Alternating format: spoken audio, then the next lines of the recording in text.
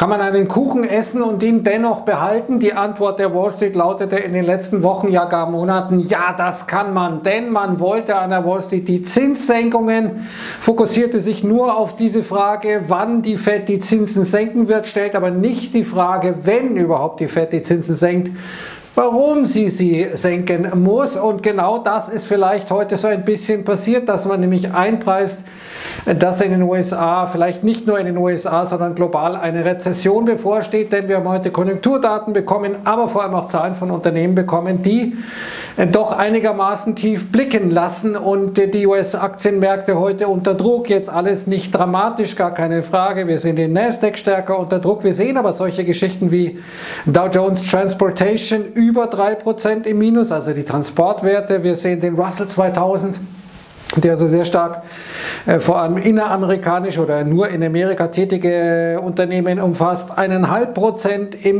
Minus, dagegen Dow Jones und auch S&P 500 äh, noch einigermaßen glimpflich. Mal schauen, wie es jetzt weitergeht, vor allem dann mit den Zahlen der Dickfische, Microsoft und Google. Aber wir hatten heute das Verbrauchervertrauen Conference Board extrem schwach, viel schwächer als erwartet. Und im Begleittext hat das Conference Board äh, davon gesprochen, dass die Amerikaner zunehmend pessimistisch werden, eine Rezession erwarten. Und das ist ja das Ding, wenn du eine Rezession erwartest, dann äh, richtet sich dein Handeln und dein Denken danach aus. Das heißt, das ist eine self-fulfilling prophecy. Wir hatten heute den Richmond, äh, Richmond Fed Manufacturing Index auch wieder schlechter als erwartet, vor allem die Business Conditions. Und beim Verbrauchervertrauen haben wir gesehen, dass die Inflationserwartungen mit 6,2 Prozent relativ hoch bleiben. Und hier mal so ein paar Auszüge.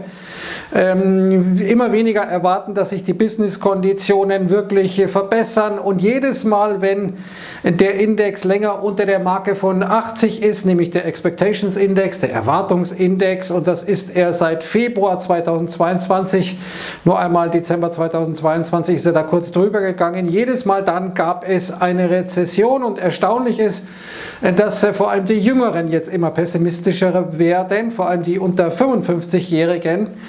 Ähm, die also über 50.000 und mehr verdienen, also die Wohlhabenden unter 55-Jährigen, die werden jetzt richtig skeptisch. Wir sehen, der Consumer Confidence Wert ist jetzt äh, auf den schlechtesten Wert seit Juni 2022 gefallen. Also das ist natürlich schon besorgniserregend. Und dann hatten wir die Zahlen von UPS weltweit tätiger Logistiker, äh, die ziemlich mies ausgefallen sind, die Aktien 9% unter Druck. Und man spricht von einer stark nachlassenden Nachfrage von Firmen und Konsumenten und sagt explizit, das sehen wir auch in Asien. Und erinnern wir uns, es ist ja noch nicht so lange her, dass die Märkte sich Wunderdinge von China erhofft haben, weil man sich sagte, boah, da wird jetzt der Wahnsinnskonsumrausch dann wirklich kommen. Bisher ist er nicht gekommen, dazu gleich mehr. Wir sehen das äh, Rezessionsmodell oder die Wahrscheinlichkeit ähm, für eine Rezession anhand des äh, New York Fed Rezessionsmodells jetzt auf dem höchsten Stand seit 1982. Also wenn die Fed ihr eigenes Modell ernst nimmt, dann müsste sie sehen, das könnte ein bisschen schwierig werden und mm, wir haben solche Headlines jetzt auf Bloomberg Stock Slide as Earnings Disappoint. Ja, nicht alle. Wir haben General Motors sehr, sehr stark. Wir haben durchaus auch gute Zahlen gesehen, 3M äh, und so weiter und so fort. Aber wir sehen, dass nicht nur die Aktien unter Druck sind, sondern vor allem auch die Renditen fallen für Staatsanleihen. Also praktisch ähm, hier auch eine zunehmende Rezessionswahrscheinlichkeit eingepreist wird. Und hier Matt Maley, ein Analyst, der sagt, also jedes Mal, wenn es eine Kreditkontraktion gegeben hat, und die sehen wir ja derzeit, dann kam es in einer Rezession. Und Investoren, die müssen jetzt mal langsam ihren Menschenverstand gebrauchen und äh, letztendlich sich damit klar werden, dass dieses Soft Landing Narrativ, also dass die Wirtschaft in den USA irgendwie schon eine ganz weiche Landung macht, dass sie das in der Pfeife rauchen können, äh, so formuliert er das. Und das ist ja das, was eigentlich schon länger ziemlich klar ist, aber die Wall Street eben nicht wahrhaben will. Und wir sehen jetzt auch diese Wachstumssorgen in China, wir haben ja sechs Tage in Folge jetzt fallende Kurse in China, Growth Worries, also Wachstumssorgen sind es, die hier letztendlich zu diesem Abverkauf geführt haben. Wir sehen, dass Kupfer, Eisenerze deutlich unter Druck sind, also Rohstoffe, die normal dann gut laufen, wenn äh, die Konjunktur gut ist. Und wir haben schon länger gesehen, dass es ähm, Kupfer zum Beispiel nicht gut läuft, aber die Aktienmärkte dennoch weiter gestiegen sind. Ja, weiter gestiegen sind sie vor allem wegen den großen. Äh, Dickfischen, der S&P 500 hat äh, 297 Punkte in diesem Jahr bis jetzt ähm, gewinnen können. Unter den ersten zehn kein einziges Unternehmen, das nicht Tech ist, wenn man jetzt mal Visa als Finanzunternehmen nimmt. Das ist äh, an Nummer 10. Die Top 5 Aktien haben 62,75% dieses Anstiegs ausgemacht. Apple, Microsoft, Nvidia, Meta und Amazon. Und wir sehen die Marktbreite unten hier in diesem Chart von äh, Sven Henrik äh, miserabel. Also es waren die wenigen, ich hatte das schon öfter gesagt, es kommt Ihnen wahrscheinlich schon zum Hals raus, aber es ist eben der Fall, dass es die wenigen Aktien waren, die das Ganze doch äh, gut nach oben getrieben haben, aber die meisten Aktien letztendlich schwach waren. Und wer 2022 Aktien gekauft hat, und darauf verweist Alf. Der ist davon ausgegangen, dass der Gewinn pro Aktie bei 220 Dollar liegen wird, aber jetzt ähm, ist äh, von diesem Gewinn nichts mehr zu sehen. Äh, damals äh, glaubte man, dass wir ein Earnings Growth, also ein Gewinnwachstum von 8% bis 10% bekommen. Jetzt haben wir null Wachstum bei den Earnings, teilweise sogar rückläufige Earnings. Also stellt sich die Frage nach der Bewertung und das ist genau das Thema.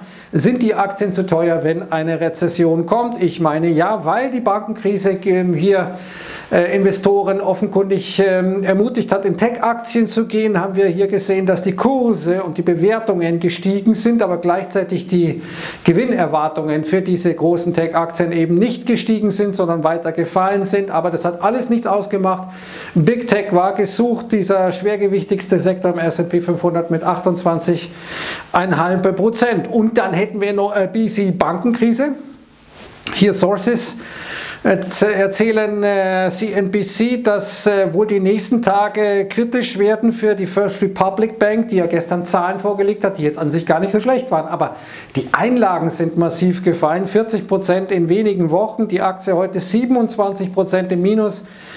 Und ähm, das ist natürlich ein schwerer Schlag. Man blutet aus und ich sehe bisher nicht, wie sich das ändern soll, solange eben diese Banken nicht in der Lage oder willens sind, diese Zinsen an ihre Kunden weiterzugeben, die man bei Geldmarktfonds äh, wirklich erreichen kann. Wer es geahnt hat, dass das ein Top-Aktieninvestment ist, das ist Jim Cramer. Damals äh, stand die Aktie noch bei 85 Dollar und die Fed hat ja Liquidität bereitgestellt, um die Lücken aufzufüllen. Die Banken haben Einlagen verloren, dann konnten sie sich teuer verzinste Kredite bei der Fed besorgen. 400 Milliarden Dollar ist die Bilanzsumme der Fed gestiegen zwischenzeitlich. Und jetzt sehen wir mal den Regionalbankenindex anhand des ETF KRE.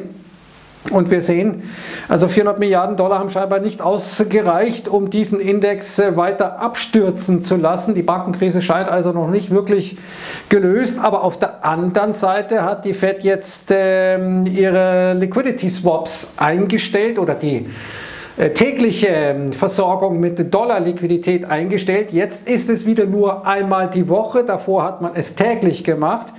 Äh, das ähm, ist äh, jetzt vielleicht eine Aktion, die die Märkte nochmal unter Stress setzen kann, weil eben jetzt dieser Dollarbedarf wieder zunehmen könnte. Und da ist auch in Europa offenkundig ein Problem. Wir sehen heute die spanische Großbank Santander, die heute 5% verliert. Warum? Weil eben die Kunden hier auch Geld abziehen. Das alles ist noch nicht so krass wie in den USA, weil eben die Zinsalternativen noch nicht so wirklich gegeben sind. Aber es ist eben durchaus der Fall. Und die andere ganz große Baustelle, die auch eine Baustelle der Banken ist, ist ja dieser Gewerbeimmobilienbereich. Und jetzt hier Blackstone, auch ja kein kleiner Fisch, der könnte jetzt äh, wohl ähm, praktisch praktisch einen Zahlungsausfall melden müssen über 250 Millionen Dollar bei elf Apartment Buildings in New York, nämlich äh, in der teuersten Zone New Yorks. Und hier sehen wir mal rechts der Traffic, ähm, der Verkehr in den Innenstädten der USA, Gewerbeimmobilien, alles was dranhängt, Geschäfte, die Leute wollen essen, dann einkaufen, wenn sie vielleicht mal eine Pause haben bei der Arbeit, der geht deutlich zurück. Wie deutlich, das sehen wir hier, 32 Prozent durchschnittlich im Vergleich zur Zeit äh, von äh, vor Corona. Und derzeit sind 50 Prozent weniger Angestellte da offenkundig äh, regelmäßig äh, am Start. Das äh, kann man zum Beispiel an Smartphone-Daten ermitteln. Das ist also durchaus alles mit diesen Daten schon entschlüsselbar. Und die Innenstädte haben also ein Problem, aber die Suburbs, die Außenbezirke, die scheinen von dieser Entwicklung zu profitieren. Aber in den Innenstädten stehen eben diese teuren Gewerbeimmobilien, die jetzt auch noch refinanziert werden müssen, vor allem durch diese mittelgroßen Banken in den USA. Und vielleicht ist es deswegen kein Wunder, dass ähm, wir sehen, dass das Smart Money jetzt jetzt verstärkt auf einen ziemlichen Abverkauf bei US-Aktien setzt. Das hatten wir zuletzt Ende 2021 und August 2022, dass hier die Putbestände so hoch waren, um sich eben abzusichern gegen einen Fall von Aktien. Viele können ja nicht äh, einzelne Aktien shorten, sondern die müssen dann mit solchen Produkten eben sich absichern, auch auf der Unterseite. Manche sind dann vielleicht äh, einfach nur short, aber ich denke, die meisten sind äh, letztendlich da eher in Sachen Hedge unterwegs. Und hier sehen wir, wie die Dinge auch eskalieren in Sachen Schuldengrenze, Schuldenobergrenze in den USA. Es kostet jetzt äh, 9.600 Dollar pro Jahr um sich ähm, äh, zu versichern, wenn man eine Million US-Dollar in Staatsanleihen hält. Das ist der höchste Stand, äh, den wir haben. Das ist höher als äh, in der Finanzkrise und in den anderen Krisen der letzten Jahrzehnte. Und wir sehen vor allem hier den Spread zwischen der einmonatigen und der dreimonatigen US-Staatsanleihe, äh, der geradezu jetzt ähm, kollabiert. Also da ist durchaus Stress im System, weil man sich sagt, naja, die Republikaner selber sind uneinig, die Demokraten, die wollen scheinbar noch gar nicht erstmal verhandeln über diese Anhebung der Schuldengrenze und weil die Amerikaner immer weniger Steuern einnehmen, minus 29 Prozent zum Vorjahr. Da ist eben dann die Sorge, dass wir jetzt schon im Mai letztendlich ähm, mit diesem Stress zu tun haben, weil im Juni äh, hier eine Lösung her muss und da ist bisher überhaupt noch kein Anzeichen zu erkennen, dass diese Lösung kommt. Aber vielleicht kommt eine Lösung für die Märkte. Microsoft und Google werden berichten und wir berichten bei Finanzmarktwelt ab 22 Uhr und wie sehr das ähm, hier reinschlägt. 6%, über 6% die Gewichtung allein von Microsoft. Und wenn man Google Klasse A und Klasse B Aktien zusammenzählt, dann bringt das auch was auf die Waage. Also das wird richtig wichtig. Wie gesagt, 22 Uhr werden wir die Zahlen berichten. Hier mal die erwartete Volatilität nach den Zahlen. Apple noch am wenigsten, 4,1%, Microsoft 4,8%, 5,5% Alphabet, Amazon 7,9%, Meta 10,2%. Man erwartet also hier richtig fette Bewegungen. Und jetzt natürlich äh, heute schon die entscheidende Frage, ja, wie schaut es denn aus mit KI, also mit künstlicher Intelligenz? Das ist ja der Zaubertrick gewesen. Je öfter du KI erwähnst, umso besser für die Aktie. Ich nehme an, dass man heute da ausführlich Gebrauch machen wird, auch bei Microsoft etwa.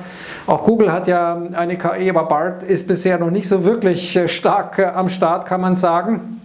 Also am besten oft KI sagen, am besten Entlassungen ankündigen, mit diesen Einsparungen durch die Entlassungen dann eigene Aktien zurückkaufen und alles ist schick und wir sind im dauerhaften Bullenmarkt, meine Damen und Herren. Wir haben, äh, wie gesagt, heute die Zahlen dann im Fokus, auch die Marktreaktionen. Wenn Sie wissen wollen, was da erwartet wird, da haben wir für Sie mal eine Vorschau gemacht, die das Ganze aufarbeitet. Erstmal von Alphabet, also den Google-Zahlen, dann von Microsoft. Was ist da genau zu erwarten?